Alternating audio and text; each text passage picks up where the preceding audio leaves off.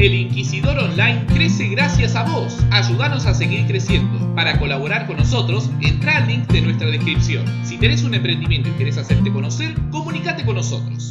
Por favor, llamen a la policía. Hay una persona armada y mató a la familia. Al parecer está gritando la vecina.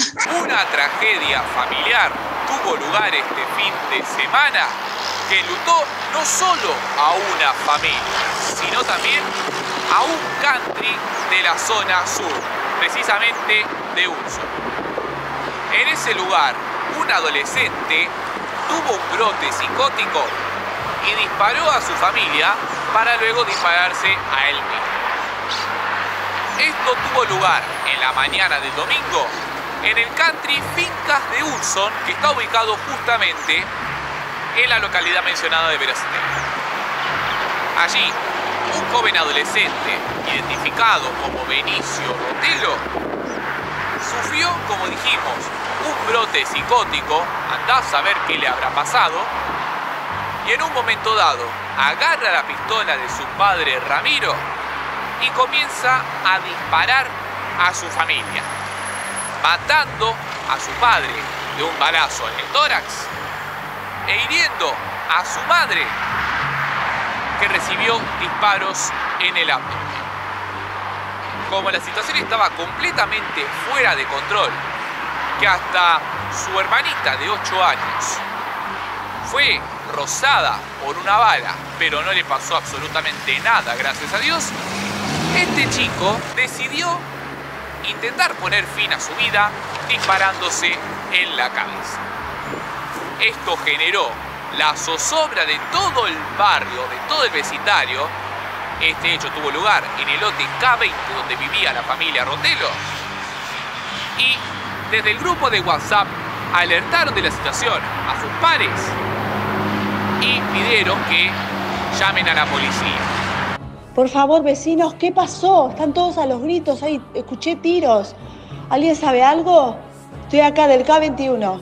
Es enfrente de casa, yo estoy enfrente de los K, creo que es el K13, no me acuerdo el número, pero hay un chico que se volvió loco y empezó a los tiros, mató a la familia. La madre está con heridas de balas en el medio de la calle. Métanse todos adentro y llamen a la policía. A todo esto se acercaron móviles policiales, tanto de la comisaría tercera de Gutiérrez como del comando, y se encontraron con una escena terrorífica. Estamos hablando de ya ver Ramiro Rotelo, de 49 años, muerto, como así también a su mujer, de 48 años. Estamos hablando de la señorita Ruth Semexiuk, herida, un disparo a la altura del abdomen, y después, cuando ya estaban adentro de la casa, se encontraron con este chiquito, 14 años, 16 años de edad, Benicio Los tres integrantes de la familia fueron trasladados hacia el hospital Evita Pueblo, donde recibieron las primeras curaciones. La nena está fuera de peligro, gracias a Dios.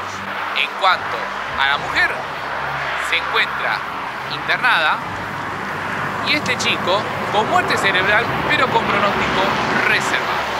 El caso quedó en manos del fiscal Federico Weinstein del Fuero de Responsabilidad Penal Juvenil de Clínicas, quien investiga cómo fueron los hechos y por qué este joven tomó la decisión de atentar contra casi toda su familia. ¿Por qué lo hizo? ¿Qué le pasó por la cabeza? Son preguntas que uno necesita responder y saber. Por favor, llamen a la policía. Hay una persona armada y mató a la familia. Al parecer está gritando la vecina.